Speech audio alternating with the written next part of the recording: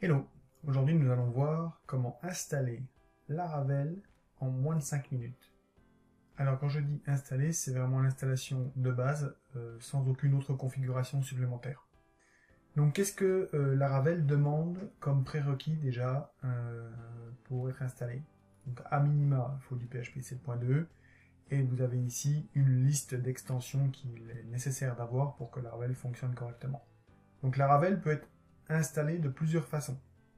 La première façon, c'est d'utiliser euh, le Laravel installer, que l'on peut installer via Composer.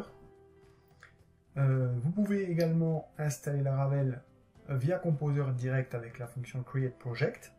Et enfin, euh, la troisième façon qui n'est pas décrite dans la documentation ici, ce sera l'installation directement via l'Aragon. L'Aragon retrouver un article sur notre, blog qui décrit en détail à quoi il sert et qu'est-ce qu'il apporte. Pour résumer en quelques mots, l'Aragon c'est un environnement euh, de développement PHP, euh, Apache, euh, Nginx, Postgre, MongoDB, Node.js, Python, même Java, même Go. Donc vraiment c'est un environnement de développement très très très complet sous Windows. Donc il est exclusivement dédié à l'environnement Windows.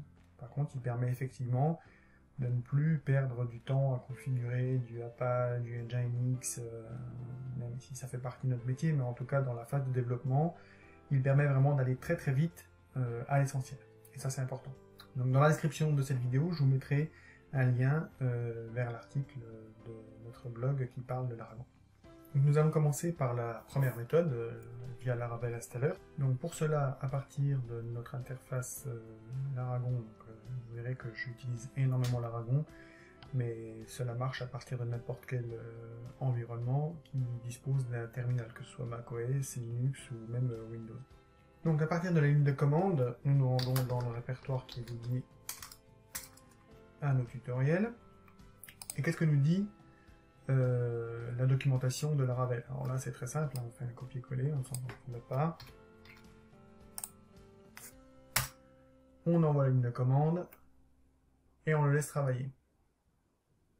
Donc selon euh, la vitesse de votre connexion, ce sera plus ou moins rapide.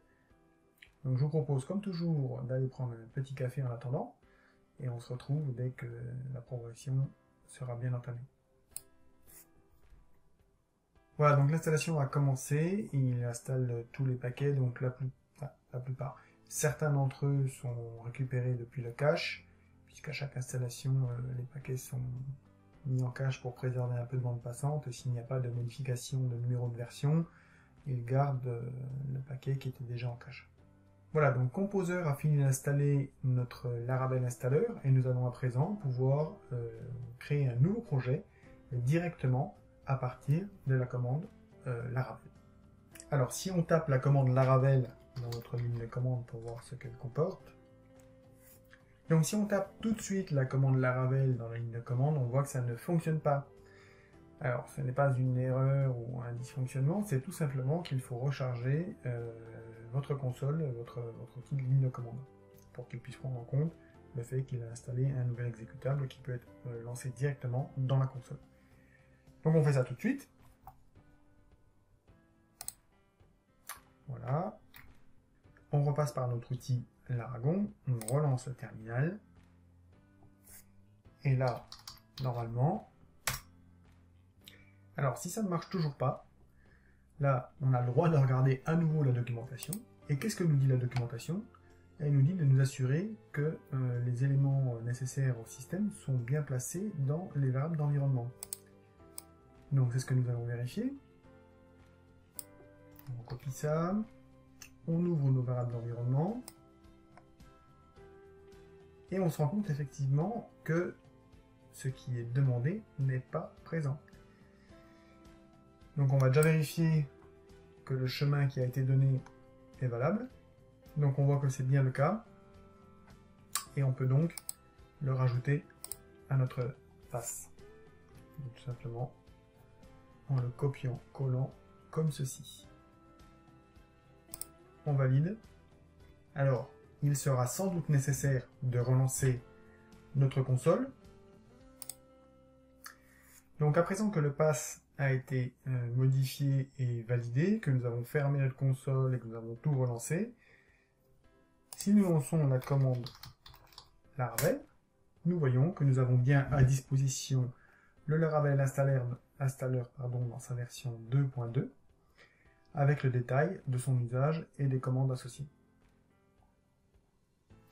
Donc, à partir de là, il est très simple de créer une nouvelle application Laravel en faisant tout simplement Laravel new, ne soyons pas du tout original, blog. On tape entrée et Laravel installeur va s'occuper de créer notre application en téléchargeant tous les paquets qui lui sont nécessaires. Encore une fois, beaucoup viendront directement du cache, sauf si vous n'avez jamais installé Laravel auparavant. Mais si vous développez et que vous le faites régulièrement, vous aurez quand même beaucoup de paquets qui viendront directement du cache. Et les nouvelles versions euh, qui seront sorties entre-temps, euh, qui correspondront au fichier composer.json de votre installation Laravel, seront euh, mises à jour avec les nouvelles versions et donc téléchargées. Voilà, donc encore une fois, cela va prendre encore un petit peu de temps. Euh, vous pouvez en prendre un café ou une bière si c'est l'heure de l'apéro ou tout ce que vous voulez. On se retrouve dès que Laravel Installer a terminé notre installation. Et voilà, donc Laravel Installer a terminé de récupérer tous les paquets qui lui étaient nécessaires. Il a effectué l'installation euh, de Laravel, notamment en générant les autoloads, en setant la clé de l'application et en découvrant les packages qui lui sont nécessaires directement. Voilà, donc là, pour lui, le travail à présent est terminé. Donc ce que nous pouvons faire à présent pour vérifier qu'il y a bien un site derrière tout ça et que cela fonctionne, c'est tout d'abord nous rendre dans le répertoire que nous venons d'installer, tout du moins que la Ravel Installer a mis en place. Donc on voit bien qu'il y a tous les fichiers correspondant à l'arborescence habituelle d'un projet Laravel. Et pour lancer le projet, tout simplement, nous allons faire un PHP artisan serve. Vous appuyez sur la touche entrée et normalement la magie doit opérer. Donc on voit qu'on peut rentrer directement cette adresse dans notre navigateur, ce que nous allons faire tout de suite.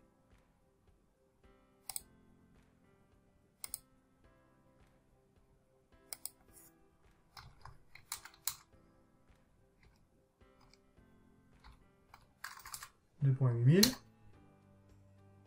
Et voilà. La Ravel est installée et prêt à accueillir tous les nouveaux développements, toutes vos nouvelles idées de développement directement. Voilà. Donc ça, c'était pour la première méthode. On ferme ça.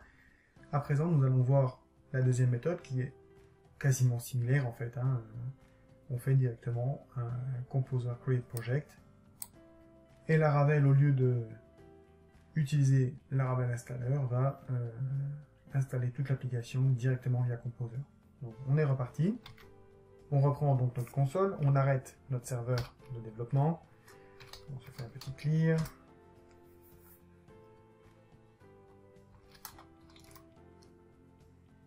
On revient d'un cran en arrière pour arriver à notre route directement. Et nous lançons donc la commande qui était indiquée dans la documentation nous allons juste changer le nom du répertoire pour pas qu'il y ait de conflit. On reste dans l'originalité et c'est parti. Donc encore une fois, cela va prendre un peu de temps puisqu'il faut à nouveau qu'il crée un nouveau projet, qu'il euh, euh, copie ou télécharge tous les fichiers qui lui sont nécessaires. Encore une fois, donc on se retrouve une fois que tout est installé. A tout de suite. Vous voyez que c'est le même euh, même chose que tout à l'heure, on télécharge les différents paquets, tous les paquets qui sont dans le composer design et toutes les dépendances euh, qu'il peut y avoir afin de livrer un projet pleinement fonctionnel et directement utilisable. Et voilà, donc Composer a fini d'installer euh, tous les packages comme tout à l'heure avec euh, Laravel Installer. Ce que nous allons vérifier tout de suite.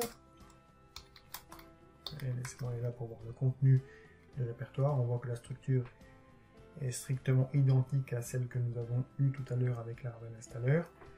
Nous lançons comme tout à l'heure un PHP artisan serve pour vérifier que le site fonctionne bien à l'adresse en local sur le port 8000.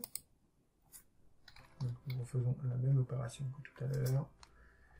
Et on voit que ça fonctionne également sans aucun problème.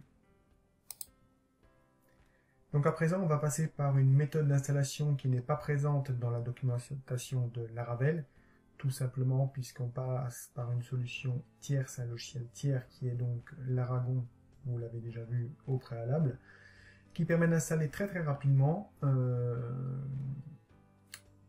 Laravel et ainsi que d'autres euh, systèmes de gestion de contenu tels que WordPress ou Drupal. Mais bon, nous ce qui nous intéresse bien évidemment, c'est Laravel.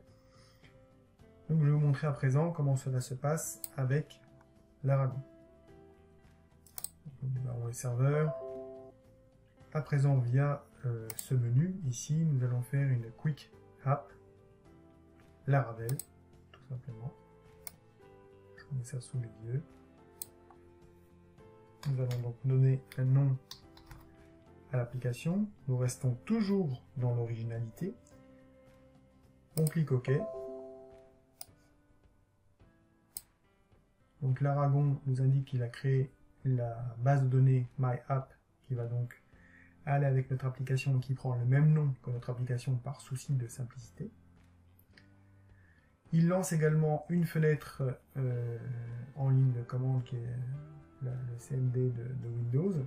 Il nous indique et nous rappelle qu'il a déjà créé la base de données MyApp il effectue en fait tout simplement la même chose que ce que nous venons de voir juste avant, qui est donc euh, la commande composer avec un create project, Laravel, MyApp, tout simplement. Donc il va faire exactement la même chose que ce que nous avons vu précédemment. Je vous retrouve à la fin, une fois qu'il a tout installé, pour vérifier le bon fonctionnement du site, et vous verrez qu'il y a une petite nuance euh, de plus à l'utilisation de l'Aragon. Je, je, vous en dis plus dès que l'Aragon en tout cas Composer, a fini d'installer tous les paquets qui lui sont nécessaires. Donc l'Aragon a terminé avec euh, l'installation de cette nouvelle application euh, Laravel euh, en utilisant Composer comme on l'a vu tout à l'heure. il est arrivé au, bout de son processus d'installation et en fait comme l'Aragon crée une URL, ce qu'il appelle une pretty URL, myapp.test, euh, il demande en fait l'autorisation euh, de pouvoir recharger euh, Nginx ou Apache en fonction de ce que, ce que vous avez choisi dans, la configuration de l'Aragon pour automatiquement mettre à jour le fichier host et donc que tout cela soit pris en compte. Donc on va l'autoriser. Voilà, on voit que Nginx a été relancé, Apache également, puisque moi je tourne avec les deux environnements. Et à présent, si nous allons sur notre fenêtre l'Aragon que nous faisons menu tutorials et my app qui est donc la dernière application que nous voulons installer il va nous ouvrir directement dans le navigateur myapp.test 8080 parce que je tourne avec Nginx. Si c'était avec Apache il n'y aura pas besoin du port en plus. Tout ça ça se configure évidemment. Et on voit que notre application Laravel fonctionne également donc, qu'est-ce que nous avons vu dans cette vidéo? Nous avons vu qu'il est possible d'installer Laravel de trois façons différentes qui restent même assez similaires. Une avec Laravel Installer, qui demande au préalable d'installer euh, via Composer le Laravel Installer. Nous avons vu en seconde méthode euh, l'installation de Laravel avec Composer Create Project. Et enfin, en troisième méthode, nous avons vu que l'Aragon permettait d'installer également Laravel très facilement en étant accompagné, euh, en sachant qu'il s'agit juste d'une petite surcouche à l'installation effectuée via Composer Create Project. Voilà, donc c'est tout pour cette euh, vidéo et je vous remercie de l'avoir suivi euh, et je vous remercie également de tous les encouragements que vous pouvez m'apporter à la fois dans les commentaires, le petit pouce vers le haut, et éventuellement vous abonner à cette chaîne qui va avoir de plus en plus de vidéos de ce type. A très bientôt